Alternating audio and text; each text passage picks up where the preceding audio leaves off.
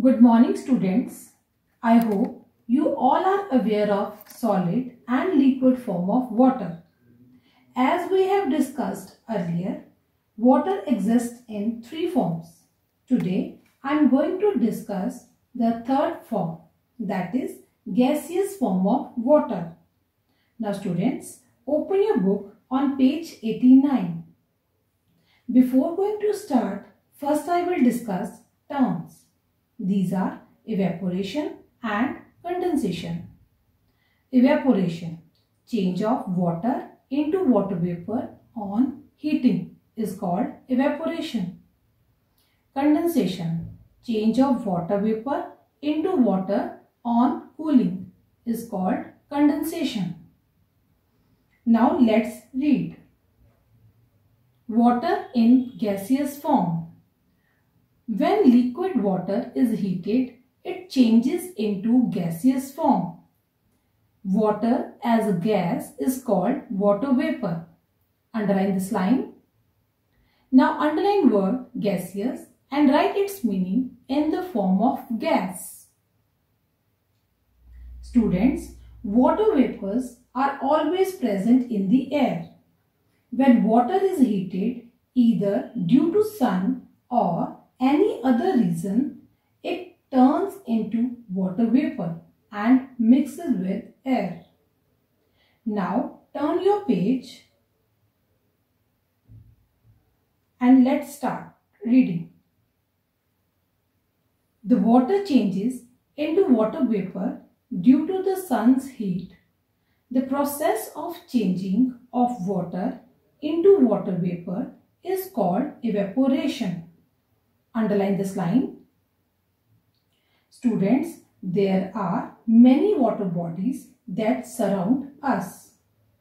Due to heat of the sun, this water gets too hot and therefore changes into gas or steam.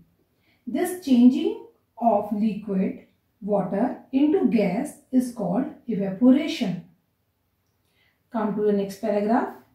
On heating, liquid water evaporates quickly with bubbles coming out. This is called boiling. Water boils at 100 degree Celsius. Underline word evaporates and write its meaning dry up.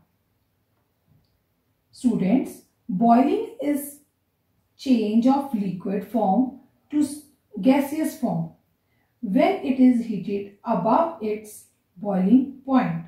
For example, boiling point of water is 100 degree Celsius. Now come to the next paragraph. Water vapor is invisible.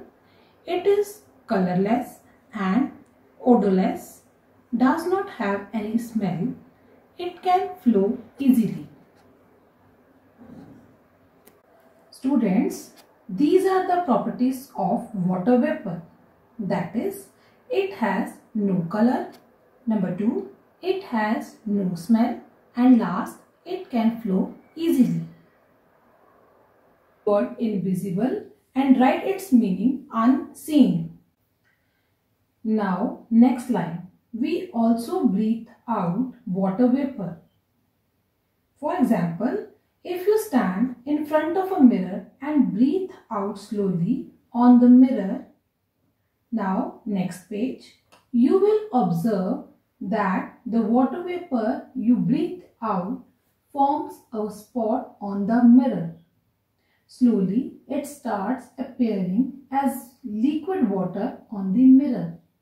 Underline word appearing and write its meaning looking. Do you know why? It's just because water vapor touches with the cool surface and turns into liquid water. Now next paragraph. The water vapor cools down when it comes in contact with the cool surface like the mirror. On cooling, the water vapor changes back into water. Underline word contact and write its meaning touch. Now next line. This process of water vapor changing into water on cooling is called condensation. Underline this line. Students, have you seen some water droplets on the outside surface of glass in the summer season? Or some droplets on the mirror of your bathroom after a hot shower?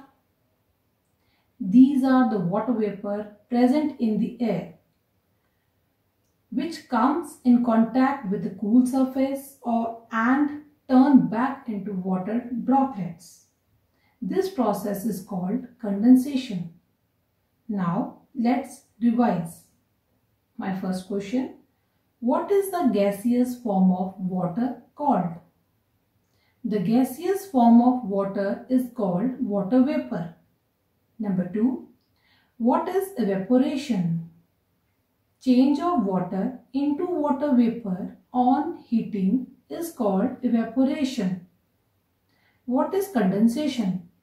Change of water vapor into water on cooling is called condensation. Students, tomorrow I will continue with the next topic. Till then, read the chapter and revise terms and questions. Thank you.